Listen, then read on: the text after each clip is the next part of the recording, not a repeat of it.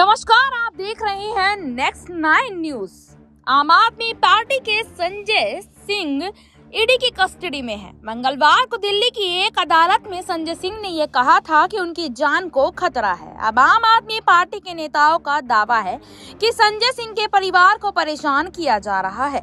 आप नेता ने एक प्रेस कॉन्फ्रेंस में दावा किया कि संजय सिंह के परिवार को मानसिक रूप से प्रताड़ित किया जा रहा है।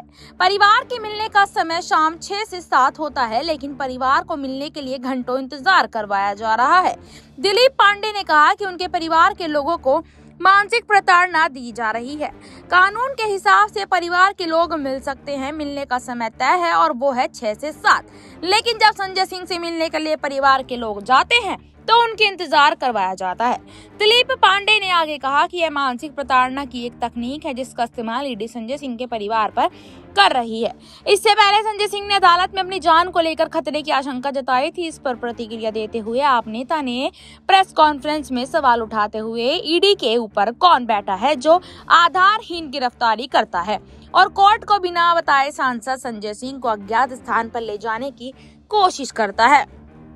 दिलीप पांडे ने कहा कि ईडी को नियमों से ऊपर उठकर भी कौन आदेश दे रहा है? ऐसा बिल्कुल नियमों के खिलाफ है कि जो आदमी हिरासत में है, उसके बारे में बिना कोर्ट को बताए आप उसे कहीं लेकर जाएँ। ऊपर कौन बैठा है? ईडी की कार्रवाई पर सवाल उठाते हुए आप नेता ने कहा कि जाँच टीम ने 10 घंटे रेड मारी, लेकिन सबूत के नाम पर कागज़ का एक टुकड़ा भी नहीं मिला। तब भी यही बात सामने आई थी कि किसी ने ऊपर से आदेश नहीं दिया।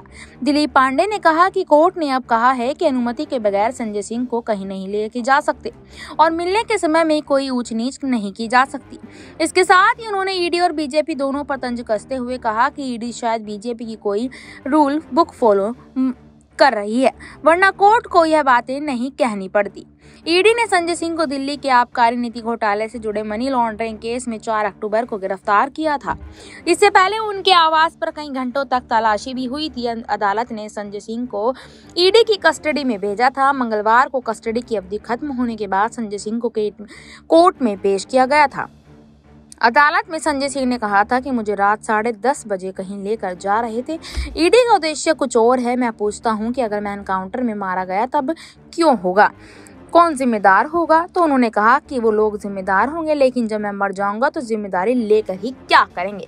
फ़िलहाल के लिए इतना ही। फिर आपसे मुलाकात होगी किसी दूसरे मुद्दे पर। तब तक के लिए देखते रहिएगा। नेक्स्ट नाइन न्यूज़ धन्यवाद।